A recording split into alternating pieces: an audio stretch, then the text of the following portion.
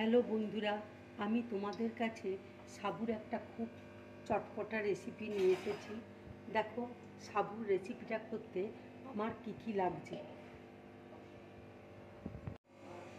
এখানে দেখো, সাবুকে কড়াইয়ে নেড়ে মিক্সিতে গুঁড়ো করে নিয়েছি। এখানে আদা রসুনের পেস্ট রয়েছে। বাদামকে আমি মিক্সিতে গুঁড়ো করে নিয়েছি। এখানে কস্তুরি মেথি রয়েছে। এখানে সাবুকে আমি দেখো পাঁচ ঘণ্টা ভিজিয়ে রেখেছিলাম। তারপরে জল ঝরিয়ে নিয়েছি। ধনে পাতা কুচি আছে, কাঁচা লঙ্কা কুচি আছে। এখানে তিনটে আলুকে আমি সেদ্ধ করে গ্রেট করে নিয়েছি। এখানে ধনে গুঁড়ো আছে, এখানে আমচুর মশলা রয়েছে, জিরে গুঁড়ো আছে, গোটা জিরে আছে, হলুদ আছে, লঙ্কা গুঁড়ো আছে। এবার দেখো সাবুটা আমি একটা বুলের মধ্যে নিয়ে নিচ্ছি।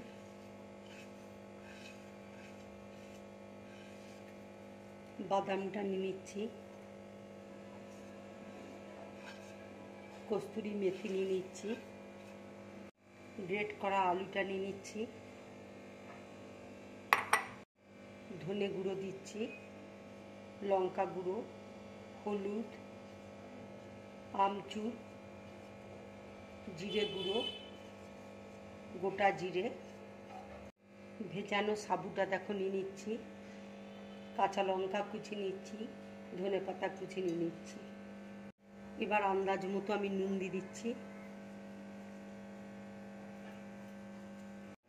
এবার দেখো আদা রসুনের পেস্ট আমি দিয়ে দিচ্ছি।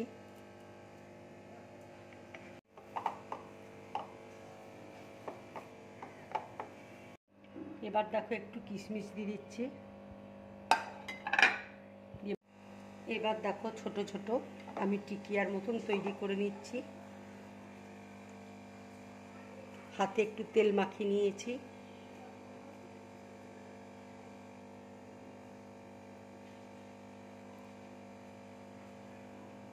ঠিক এইভাবে টিকিয়াগুলো করবে।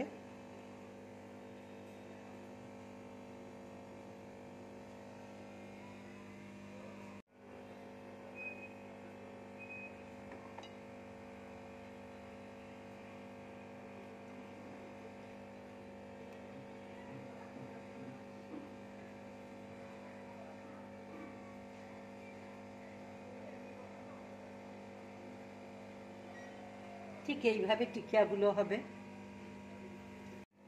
কিছু আমি দেখো লম্বা শেপেও করছি। তোমরা যেমন খুশি সেই রকম শেপে করবে।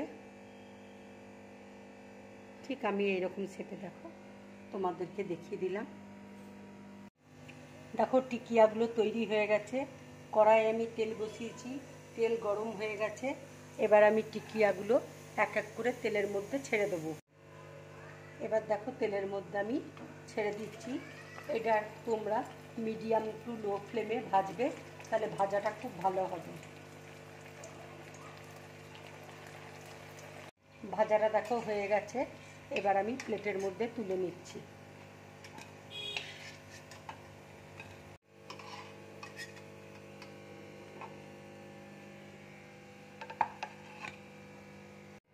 এবার দেখো এই ভাজাগুলো আমি তেলের মধ্যে ছেড়ে দিচ্ছি। ভাজাগুলো না। এবার আমি তেলের মধ্যে ছেড়ে দিচ্ছি।